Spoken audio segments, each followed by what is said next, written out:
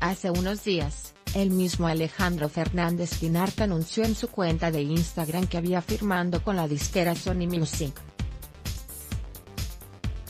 El hijo de Alejandro Fernández piensa seguir los pasos de su papá y de su abuelo, Vicente Fernández, como cantante y ahora la joven promesa de la música regional mexicana dio una pequeña muestra de lo que será su primer sencillo. Ad Choices Advertising in Read Invented by Teats el heredero del potrillo comparte no solo un enorme parecido físico con su padre, sino también vocal, como se puede apreciar en parte del video del tema Te amaré que compartió.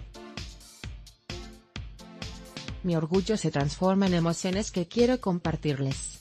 Es increíble cómo la música puede transmitir sentimientos.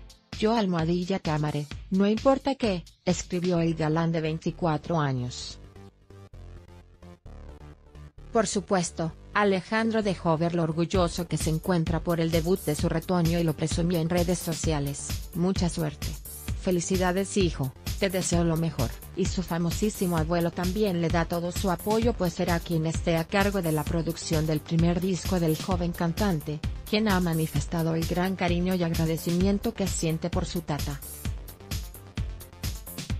Alex Jr. ya antes había lanzado un proyecto, pero fue en su faceta empresarial con la donitería, en Guadalajara, en mayo del 2016.